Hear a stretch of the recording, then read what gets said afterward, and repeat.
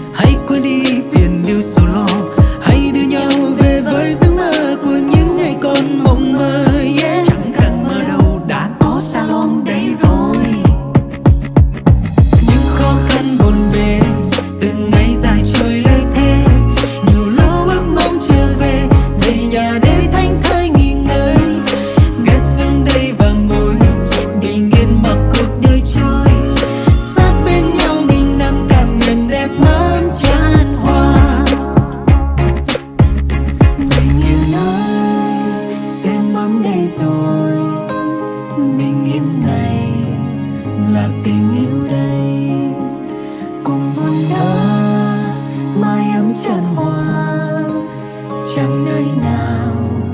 Bằng nhà của ta